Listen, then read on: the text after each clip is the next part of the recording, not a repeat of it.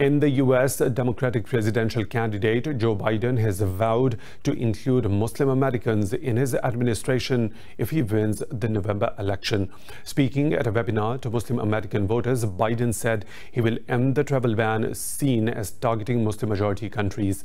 Biden said that Muslim Americans were the first to feel the assault from Donald Trump's harsh policies.